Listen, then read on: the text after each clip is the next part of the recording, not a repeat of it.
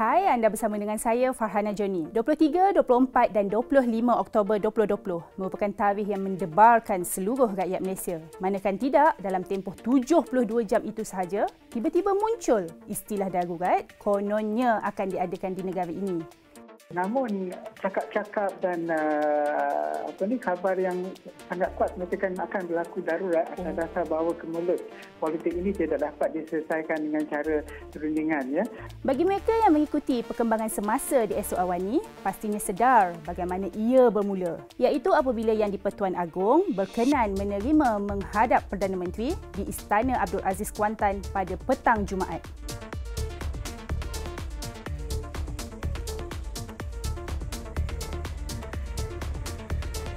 Mengukuhkan lagi kabar angin mengenai darurat apabila antara orang kenamaan yang dilihat mengiringi Perdana Menteri ialah Panglima Angkatan Tentera Jeneral Tan Sri Effendi Buang. Kemudian, reaksi daripada Yang di-Pertuan Agong pula adalah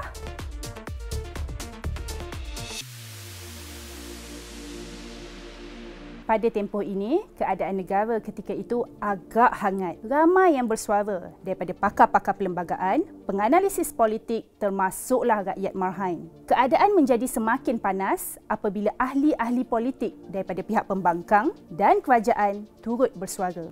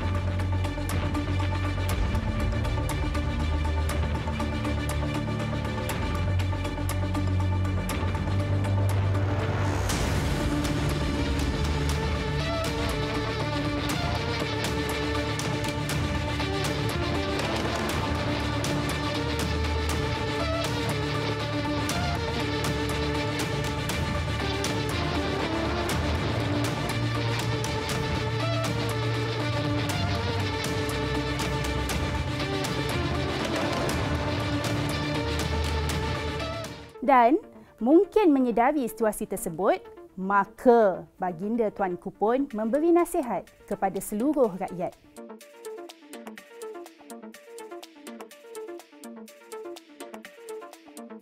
Pompang-pompang dari Jumaat hinggalah ke Sabtu akhirnya pada 25 Oktober 2020 iaitu pada hari Ahad yang di-Pertuan Agong mengeluarkan titah bahawa tiada keperluan untuk melaksanakan darurat di mana-mana bahagian negeri di Malaysia. Titah itu dikeluarkan selepas baginda mengadakan pertemuan dan perbincangan khas dengan Raja-Raja Melayu di Istana Negara.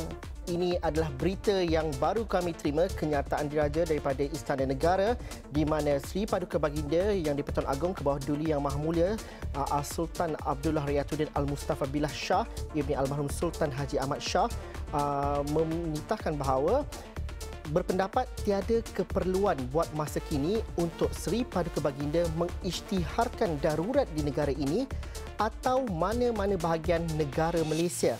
Kendati pun begitu, Seri Paduka Baginda ingin mengingatkan ahli-ahli politik untuk memberhentikan segala memberhentikan segera segala politiking yang boleh mengganggu kestabilan pemerintahan negara.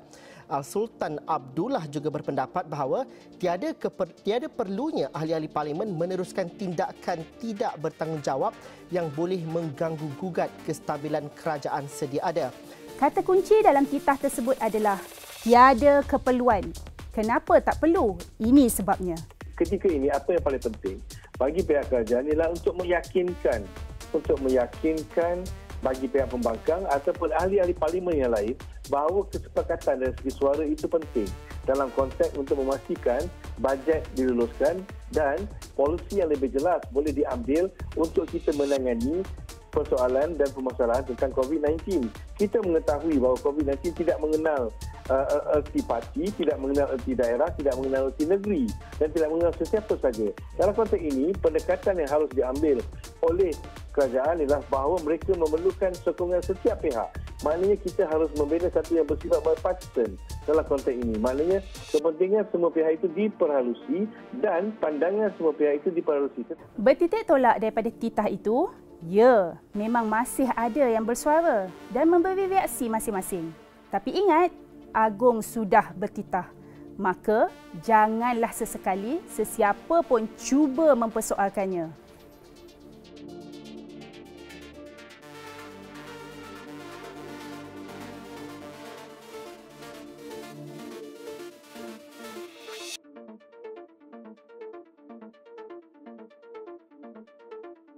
Syafi'i menggesa semua pemimpin di negara ini untuk mengetepikan perbezaan dan bekerja bersama-sama untuk mengatasi cabaran terbesar yang sedang dihadapi dan mengutamakan raja, negara dan rakyat di atas semua masalah lain. Ahli Parlimen Sempurna itu berpendapat negara harus terus maju dan rakyat tidak boleh dirugikan. Syafi'i menekankan bahawa inilah masanya untuk ketepikan perbezaan termasuk agama dan bangsa serta bergabung untuk melawan musuh yang sebenarnya. Beliau menjelaskan ahli politik mungkin berbeza pandangan dalam banyak perkara tetapi pada masa ini mereka boleh bersetuju dengan satu perkara iaitu mencintai negara kita ini. Pada Sabtu, Ahli Parlimen Muar Said Sadiq Said Abdul Rahman menggesa semua pihak agar ketepikan ego dan pecahkan tembok kepatian demi Malaysia. Ini kerana buruk akibatnya kelak. Kalau dulu yang Maha Mulia dah uh, berkitam macam tu, jadi kita terpaksa ikut. Dan uh, mesti uh, uh, kita baginda dia dia lebih uh, berkesan. Jadi saya rasa rakyat tak, payah, tak perlu bimbang lah kalau darurat tu nanti semua tak boleh nanti eh, itulah masalah kami nak cari makan macam ni susah tu kami sedangkan macam ni ke pun tak ada niaga pun tak ada jalan tengok semua kedai-kedai orang pun tutup ya. Actually, istilah darurat ini sering kita baca dan dengar berlaku di luar negara. Thailand tarik semula perintah darurat yang dilaksanakan bagi menamatkan protes terhadap Perdana Menteri Prayut Chan Ocha dan institusi monarkinya. Sepanyol menjadi negara terbaharu yang mempertimbangkan pengisytiharan darurat untuk mengawal penularan COVID-19. Perintah darurat di Narathiwat, Yala dan Patani di Thailand dilanjutkan selama tiga bulan lagi. Wilayah Okinawa yang menjadi destinasi pelancongan popular di Jepun terpaksa diisytihar darurat berikutan penularan mendadak kes jangkitan COVID-19. Korea Selatan diletakkan dalam keadaan darurat selepas COVID-19 yang bermula dari Seoul tersebar di seluruh negara. Persoalannya, apa itu darurat? Meh, saya belanja sikit ringkasan yang perlu anda tahu mengenai darurat.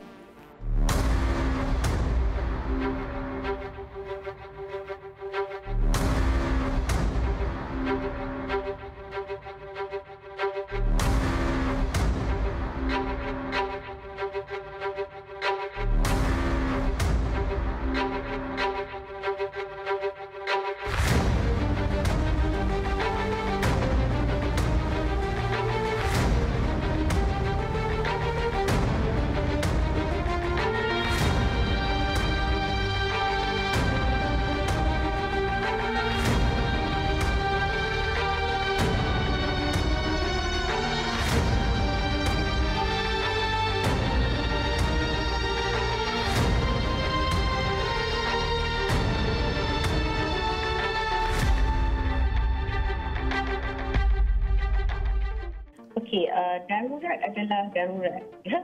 Maknanya dia kalau kita kata uh, darurat bencana tu dah uh, semasa dulu dia merupakan darurat yang diisytiharkan melalui MKN, Majlis Keselamatan Negara, arahan di bawah MKN dan ia adalah darurat bencana. Darurat bencana ini berbeza dengan darurat besar. Darurat besar ini diproklaim atau diisytiharkan oleh Yang di-Pertuan Agong. Hmm mungkin atas sebab itu uh, rakyat merasakan ini sesuatu yang serius yang amat amat um, apa kata yang amat-amat besar uh, akan dihadapi oleh negara tapi uh, dalam peruntukan perlembagaan dia tidak menggunakan istilah itulah tidak ada istilah um, darurat apa darurat pentadbiran hmm. darurat politik ke darurat kesihatan ke dia tak guna istilah itu hmm. tapi kita faham yang kita perlu faham ialah kenapa darurat itu atau alasan darurat itu diisytiharkan. Kalau kita kata isytihar atas alasan kesihatan, ia darurat di bawah 150. Hmm. Jadi kita nak gunakan terma tu hanya kerana sebab kenapa darurat itu diisytiharkan. Hmm. Itu saja. Jadi kesannya kalau kita buat isytiharan darurat di bawah perkara 150, kesannya sama saja sama ada dia berdasarkan kepada kesihatan, uh-huh. dia berdasarkan kepada keselamatan negara kesannya sama.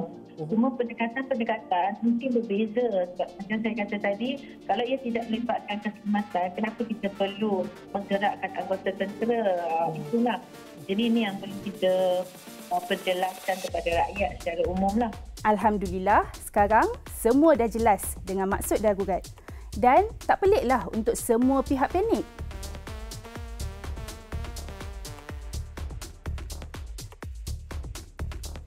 Actually, situasi darurat pernah je berlaku di Malaysia ni. Cuma ia agak lama pada zaman dahulu kala.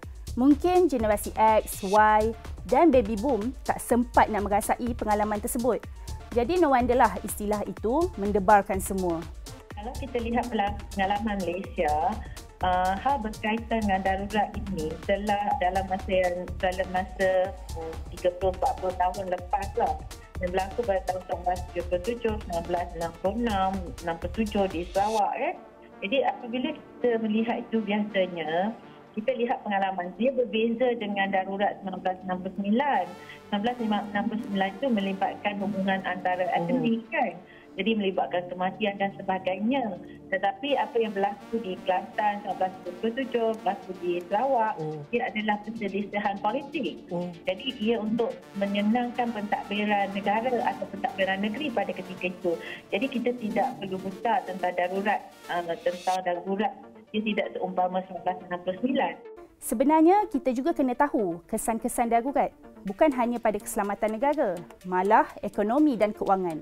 Bagaimana untuk meredakan uh, jumlah atau mengurangkan kes uh, COVID-19 ini tapi juga untuk bagaimana tangani masalah rakyat khususnya dari segi uh, ekonomi dan juga peluang pekerjaan yang uh, masalah uh, ketiadaan pekerjaan dalam kalangan rakyat kerana Sesungguhnya kalau masalah ini tidak ditangani dengan cepat, dengan bijaksana, dengan arif dan membiarkan uh, sentimen rakyat, kemarahan rakyat terhadap pemimpin politik ini tentunya akan beri kesan yang tidak baik terhadap kerajaan.